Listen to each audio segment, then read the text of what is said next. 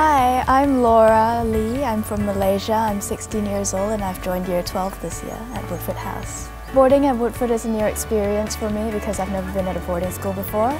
You meet a lot of friends, you get to know each other really well. There's always stuff to do, like you can go to the gym and then there's computers and the library's open at night. During the weekends, the boarding manager organizes activities for us like a day trip to Taupo where we walked across the Tongariro Alpine Crossing and then we got to go snowboarding the next day, which was pretty cool, or shopping in Napier, which is always fun. I would definitely recommend coming here. It's an amazing experience. It's different from everything back home. Don't be scared. You have to come and try it for yourself in order to find out what it really is like.